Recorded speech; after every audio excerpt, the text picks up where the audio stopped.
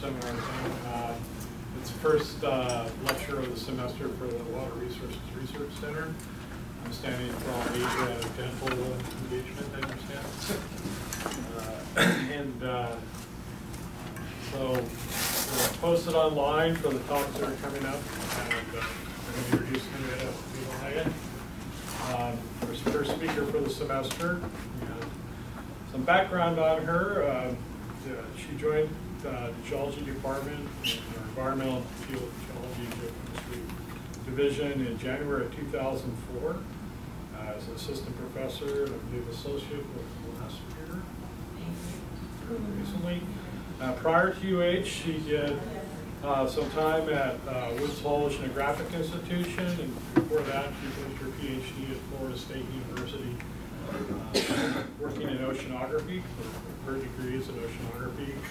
Prior to that, Henrietta came from uh, Czech Republic, and uh, she did her master's, and she just told me, I didn't even know this, uh, most of a PhD up to, the after the because uh, when she uh, left her, so she did a master's as part of a PhD at the uh, uh, uh, Technical University in Europe, which by the way is like the MIT of Europe, people like to say. I don't know, at the Haag, guys the same thing. But certainly it's one of the oldest uh, and most prestigious technical universities in Europe.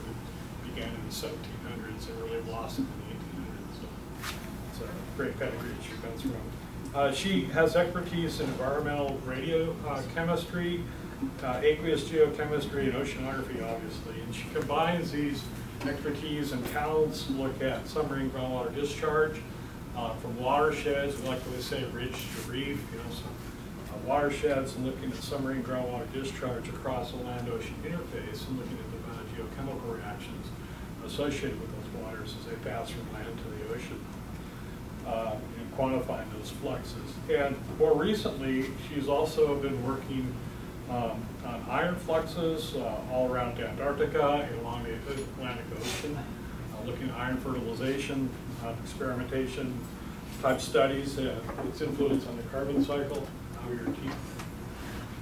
You don't have to say but. um, And, uh, and then also with the uh, uh, Fukushima uh, uh, situation, she's been looking at the radioisotopes associated with that and the fallout in, across the Pacific uh, and. So today she's going to tell us all about submarine groundwater discharge and tools of the trade, uh, partly for some 12 of my students that are sitting here same class, and uh, the tools of trade. I just noticing this diagram here. So she's going to set up in her abstract, she's going to start back in 1944 or so. And so she's got a Lee seepage meter here. And I think I just saw Steve Dollar somewhere. Yeah, there's Steve. So uh, some of us have used these things in the past. I can brag. I, when I started working on this, I inherited Steve's uh, Epic Dome. That's how we did stuff. That was in the Pleistocene, wasn't it? Uh, it- well, I, I don't know what geologic times do. So, anyway, thank you. Thank you, Chris. Um, right, so this is a combination of a class lecture and the WRRC seminar. So I won't be showing you much of new things, more likely I just really focus on the techniques. And um, and so when Craig asked me what title my lecture should have, he kind of came up with this, but I said, okay, I will um, rename it, but never gave him a proper title. And once I put together my talk, this is rather more fitting that I will show you a really simplistic approach to looking at submarine groundwater discharge because it's quite complex. But even within this simplistic approach, the, the, the measurement, um, the measurements and assessment can be actually quite complex.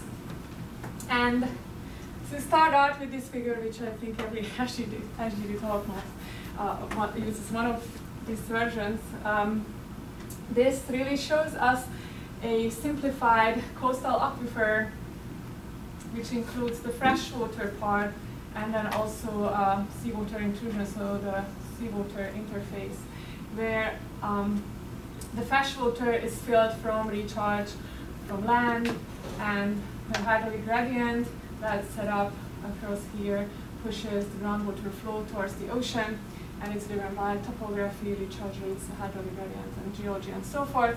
And from the ocean part, ocean side, we have various um, physical processes that drive seawater circulation. So flux into the aquifer and eventually also out on different scales, both time, temporal, and spatial scales. And there will be several terms that I'll be using during this talk. One of them is the subterranean estuary, which is the zone where this fresh water meets the recycled seawater. We call it recycled seawater because it starts out as seawater, becomes groundwater, and then becomes seawater again as it exits the, um, the, the aquifer. And so the place where the seawater and freshwater meet is called the subterranean estuary in analogy to surface estuaries. And um, for the last decades, it's been recognized that um, the early hydrological models could not really um, explain this interface real well, not until it was recognized that salt can mix into this fresh water, not just by dispersion, but other physical processes, and there is indeed salt flux across groundwater flow lines. And, and so this was recognized, it became clear then that fresh groundwater discharge is not the only process that happens um, at these groundwater outcrop sites, but there is also brackish or even salt, salty groundwater discharging to the coastal ocean. And um, so we have these different components, various driving forces that drive SGD, and because of its composition, that it can be any variation of fresh to completely marine salinity or even hypersaline. Um, the definition is that uh, groundwater discharge is um, discharge of any uh, subsurface fluids of any composition across the um, land-ocean interface and, and mostly for the students that are here and quite uh, new to this topic, I will explain the different scales. To what do we call, call SGD and what we don't really consider SGD? What are the scales of, let's say, the seawater recirculation? Um, what, what, where do we say, okay, this is not considered SGD? So this um, nice sketch has actually been reproduced in the field uh, these are measurements of salinity in a subterranean estuary. So in this region right here in Waquoit Bay, Massachusetts, where um, samplers have been put every half a meter in uh, across this um, cross section, and the salinity was measured. And actually, there was a whole time series produced then over a couple of seasons um, at every low tide, and. Uh, low tide. And the salinities that are measured, as an example, are plotted up here. So fresh is this white, where salinities range from 0 to 1. And then the red would be um, almost marine. It's, it's a bay, um, and it has a lot of SGD flowing into it, fresh SGD, so it never really goes fully marine, so only goes up to maybe 30, 29 uh, salinity. You see that the interface between the fresh and the salty part is pretty sharp. Uh, only a meter in some places, some places too. Um, that's, that's relatively sharp. Here um, in Hawaii, this interface, for example, is much, much um, thicker. Um, we also see these features um, that, um, but later on, it became clear that that saltier part of, uh, of the groundwater uh, here is due to uh, waves and, and tides pushing seawater into the top of the freshwater lands because otherwise physically this is not a stable configuration because uh, salty water, marine water is denser so it should be below the freshwater aquifer. But this is continuously regenerated due to tides and waves. So why do we care about um, SGD. Obviously, um, as this figure shows, there are several sources of solutes out on land. So we have septics and other, one slide back. We have urban development, agricultural, um, and other sources of pollutants or other constituents that we care about, other solutes, that can ac- eventually be transported uh, via submarine groundwater discharge to the ocean. And, and so there is, um, there are certain aspects to SGD, and one is to look exactly at how this groundwater signature, chemical signature and physical signature, evolves on land before it discharges to the ocean. Because that then tells us a lot about pollution sources and, and so forth. Uh, on the ocean side, this recirculated seawater may also play a role in nutrient fluxes, in that the seawater fluxes through benthic sediments that may be organic rich, so it brings in oxygenated water into the sediments that enhances remineralization, therefore makes more nutrients available that can then be transported back to the aquifer and eventually either take part in any biogeochemical processes within the subterranean estuary or um, then discharge back to the ocean. So we have a mobilization here of nutrients back. So then um, uh, it was decided that then both fresh and salty parts of SGD are uh, important. Um, here's an example of uh, nitrogen. And again, this is salinity in the top figure. On, in the middle, we have nitrate nitrite, which represents the more oxygenated, oxic uh, part of the aquifer and the, the nitrogen pool, therefore. So we have um, nitrate and nitrite plume, which is actually um, within the freshwater part. So what we see here is the nitrate nitrite fits very nicely into this freshwater plume. So it's coming from terrestrial fresh, coming from terrestrial sources with freshwater, but because it has um, perhaps some organics in the in its middle, in its core, uh, that organic matter is being mineralized, oxygen is used up. So what we have in the core is a reduced uh, nitrogen, so in form of ammonium. So these fits very nicely in here, and they all occur in this freshwater part.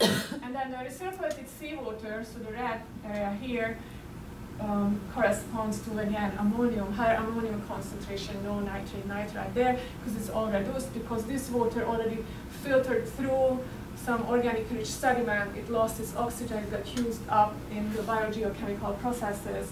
And so what we have here is nitrogen that's of marine origin, so it comes from either directly from the seawater or by the remineralization of the organic matter that's of marine origin.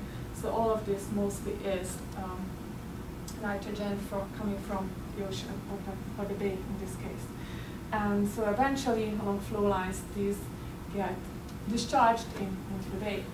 And uh, obviously we care about nitrogen or other nutrients. Um, SGD has been uh, blamed for eutrophication conditions, macro, and microalgal blooms, and other, other uh, environmental problems. Um, but um, also um, a trace metal flux is important. For example, the reducing core of that plume, the same plume, uh, would have a lot of dissolved iron and manganese in it, and then also the recirculated water mobilizes iron and, and manganese, which then play important roles, for example, in driving, uh, well, either directly iron discharges or, or the phosphorus chemistry and so forth. They are.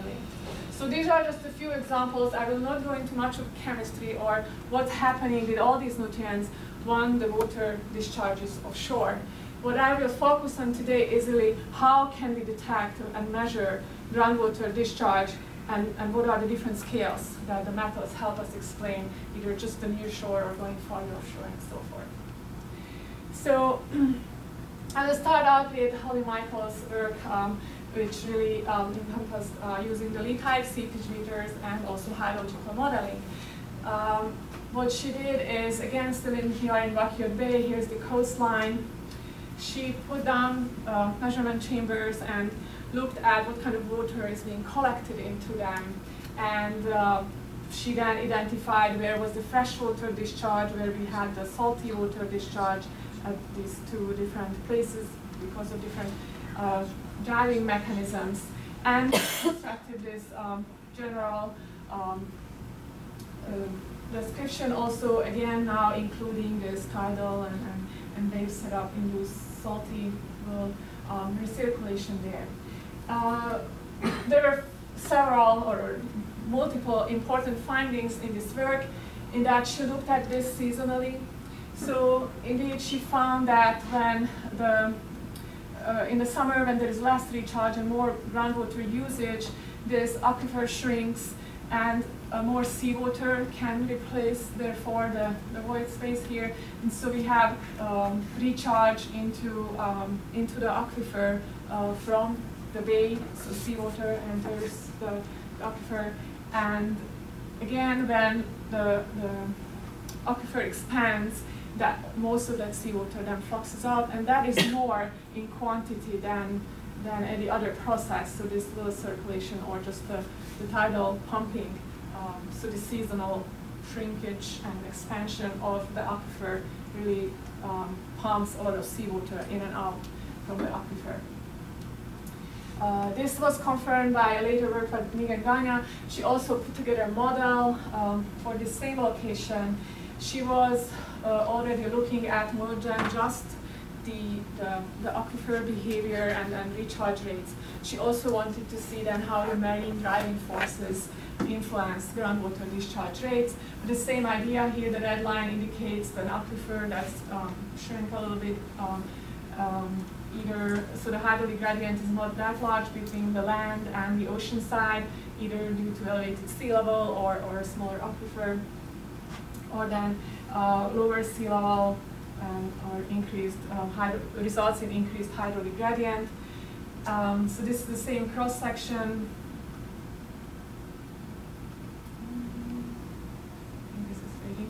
So the same cross section, uh, salinity um, across that um, same location.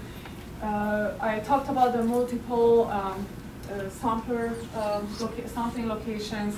So these um, stars indicate sampling locations across this interface. So she wanted to really look at the interface, how that behaves seasonally. And so we will look at a line here of salinities. So in here we have fresh going on to uh, marine salinities um, as a static picture. If you look at that as a time series, how salinity changes um, at that interface, this is what we get. So salinity, again, increases into the reds. So we have higher salinities going much shallower in the aquifer. Let's hold this up.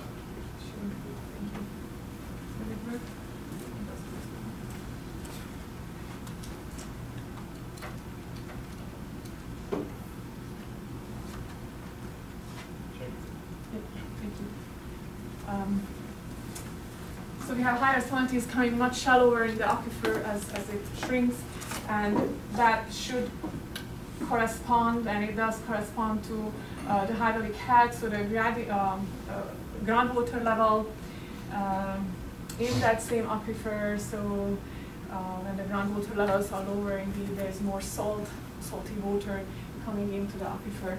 And then the blue line, uh, sorry, the black line indicates sea level, which shifts due to various processes. And what she did, she, she constructed a model in which she found that if she ignored um, marine driving forces, she could reproduce um, the fresh groundwater discharge and, and not as much the, so most of her groundwater discharge was fresh, she couldn't really reproduce the, the saltier parts, so the brackish to salty parts. Not until she actually added a changing sea level um, that then modeled the seawater intrusion into the aquifer, she was really able to reproduce the salinity changes and, and the expected um, trends. So this work shows that indeed it's not only terrestrial climate driving forces, but also marine forces such as uh, seasonal uh, sea level change. And therefore even long-term sea level change should have effect on um, total SGD, but also role of recirculating seawater. So um, these are kind of um, uh, examples of how models have um, explained SGD, and now let's look at how you can directly measure it. Um, it occurs along the coastline in various different forms. It may be as obvious as these little uh, boils, as we call them, in the shoreline, or at low tide, you might see water flowing out at the, at the, at the beach face. And um, if, if, if you have something like this, how would you quantify groundwater discharge? This usually happens over larger areas um, that covers um, a whole stretch of a coastline, or, or even in this case. So um, what you would even capture with your measurements is either one area or you have a larger scope but then you lose the resolution. Do you even want to include different scales of, of, of groundwater and uh, seawater recirculation? So, so my next slide should, should um, explain why I think that, that the measurement of SGD is in, indeed quite complex and, and difficult. Because so far we have talked about this section here uh, that's really localized um, representation of our coastline. So we have, again, the freshwater aquifer, discharge from it, and the recirculated seawater. But that section of the coastline is only a small part of really what drives all the SGD. So we have um, an example from Alicia Wilson's paper. She models a large-scale uh, water fluxes through uh, groundwater fluxes. So this represents the, the continental slope, uh, the South Atlantic bight, and this is sea level, so everything up from here is terrestrial. So here she shows the topo topography-driven groundwater flow. Uh, this little inset here represents the, the coastlines we have been looking it up to now. And here we have actually even more circulation through the slope, the continental slope, uh, which is driven by uh, various physical processes, uh, some of which are, for example, geothermal convection storms have been shown to also affect this circulation. So when we measure SGD, do we really just want to know this, or are we interested in these larger scales? So the answer to this is it depends what your question is and what the techniques are, what techniques are available to you. And so most often this is a scale that we are looking at on an embayment scale because we are interested in the surface water aquifer if we are looking at pollution, for example, and and um, oftentimes there are confining layers that result in springs or discharge that happens farther offshore, but still within an embayment, so we care about those boxes also.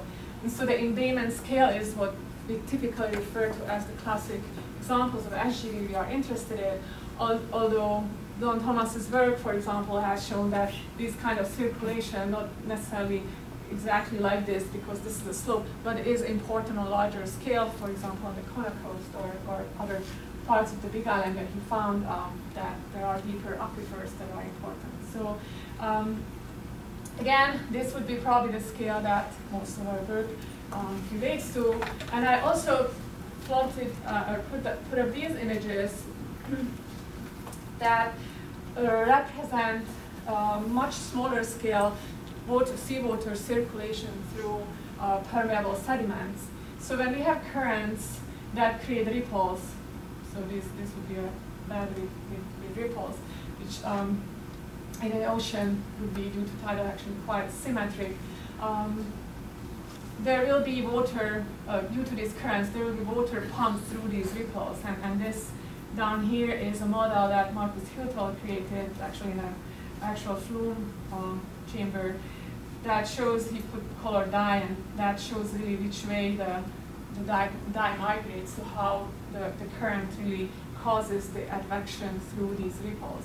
So this happens on over centimeter scales, and this is usually not included in the SGD.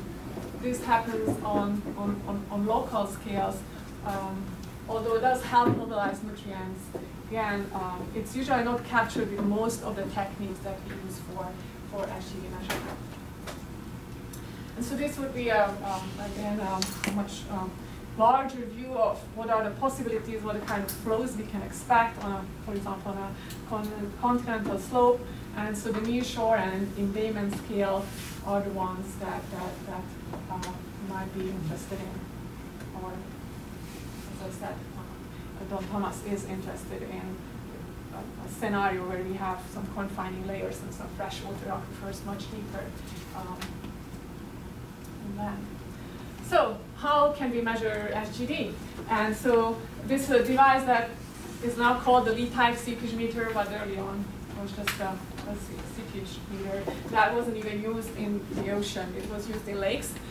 So Lee was a Canadian scientist who um, was interested in seepage into lakes, and this device was actually first used in the, in the 1940s um, to uh, measure irrigation channel leakage, so water loss from irrigation channels. Uh, this is constructed from a 55 gallon oil drum where the top 30 centimeter or so is cut off. You have a little opening where, where you have a lid, so right there you can put in a spigot um, that has a valve to which you can attach a bag.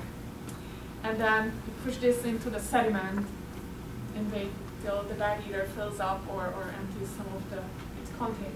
content. So there are several things that are important in this. I'm going to mention them because I, um, I think it's quite relevant to, to many of the things um, about SGD. So we want to leave this space as uh, small as possible so that the SGD replaces the, the content readily. Um, uh, some people had a technique that they would put in the chambers to leave them in for a longer time, at least 24 hours, equilibrate, equilibrate, and, and only then they would put the bag on. The bag would be pre-filled with about, well, we had a protocol of half a liter of water, but uh, others might have different ones. So, um, and then um, if there is SGD, then the bag would fill up slowly. Um, and there was only a limit of so, so much filling, so we'd have to go and check the bag um, once in a while that it's not overfilling yet, because then the flow will stop or, or slow down. Or then if there is recharge into the aquifer, then you do some of that water. So it's, it's then uh, the amount of water that either fills or is lost from the bag is then normalized to the area of the drum. So our volume can be calculated how much was gained or lost uh, over, over time. Um, there are advantages and problems with this. The advantages are that you would already capture the groundwater that's coming out of the ground, so you could actually measure what's in it. The problem is that this chamber makes the sediments anoxic. So any redox sensitive elements or nutrients would be altered depending on the headspace and, and the biogeochemistry happening in this chamber would alter that. So Lee used this device to actually look at a problem that we are very familiar with and it's, very up to date for us also. A septic tank uh, location here is indicated here by this cross. He's got some monitoring wells and this is where he set up the seepage meters.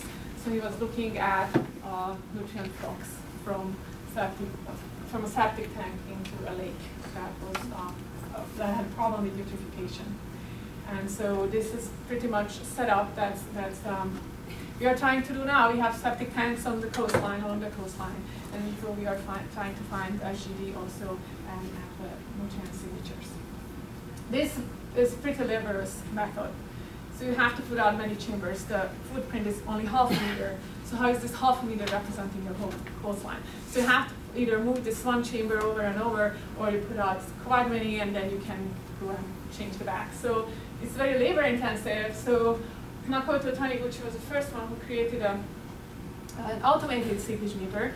So instead of putting a baggie on it, he attached a hose and um, uh, the hose was then attached to this uh, measurement device. There are different uh, technologies that were used, but pretty much this is a, a flow meter and can measure flow at very small rates, so on the centimeters, on the order of centimeters per, uh, per hour, pretty much.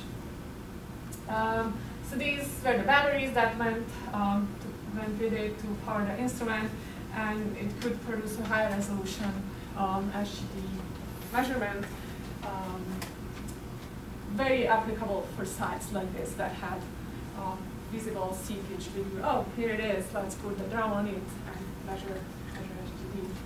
And of course, every method has to be cross-calibrated. So here's a comparison of the manual Lee-type, those are the dots, and the automated seepage meter measurements. And obviously we expected good agreement, and uh, there was no reason for it not to work.